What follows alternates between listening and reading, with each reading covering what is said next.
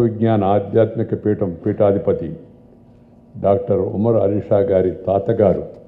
ఇదే పీఠం పూర్వ పీఠాధిపతి అయిన శ్రీ ఉమర్ అలీషా గారి జీవిత చరిత్రను స్వాతంత్రానికి పూర్వం వారు కేంద్ర శాసనసభలో చేసిన ప్రసంగాల పుస్తకాలను ఆవిష్కరించడం ఎంతో ఆనందంగా ఉంది.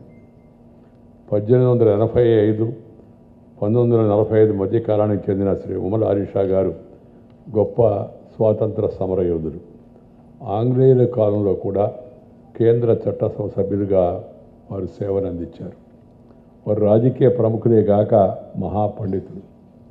మేధావి బహుగ్రంథకర్త మహావక్త అలాంటి వారిని గురించి అందరం తెలుసుకోవాలి. ముఖ్యంగా నేటి తరం యువతరం తెలుసుకోవాల్సిన అవసరం ఎంతో ఉందనే ఉద్దేశంతో వారి పుస్తక ఆవిష్కరణ గురించి నాకు కబురు పంపిన తర్వాత నేను వెంటనే అంగీకరించాను. ఎందుకంటే ఈనాటి యువతరానికి నవతరానికి మన తరానికి కూడా ఈ విషయాలన్నీ తెరవడం చాలా అవసరం.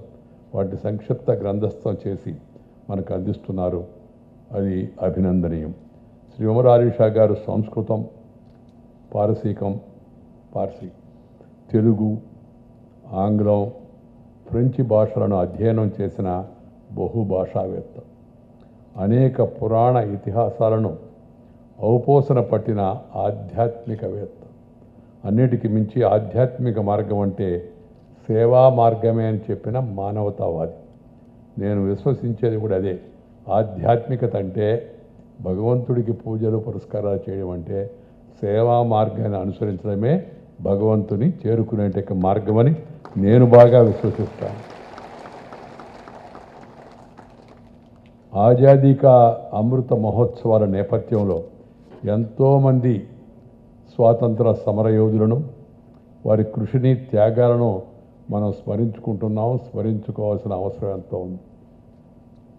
ఈ నేపథ్యంలో నాటి స్వరాజ్య సంగ్రామంలో తమ వంతు పాత్రను పోషించడమే కాక బ్రిటిష్ హయాంలో కేంద్ర చ- చట్టసభ సభ్యునిగా స్వాతంత్రం యొక్క ప్రాధాన్యత గురించి తన గొంతుకను బలంగా వినిపించిన శ్రీ ఉమర్ ఆలిషా గారి కృషిని స్మరించుకోవడం చాలా ఆనందదాయకం. ఈ సందర్భంగా ఆజాదీ అమృత మహోత్సవ సందర్భంగా కేంద్ర ప్రభుత్వం అనేక కార్యక్రమాలను చేపట్టింది.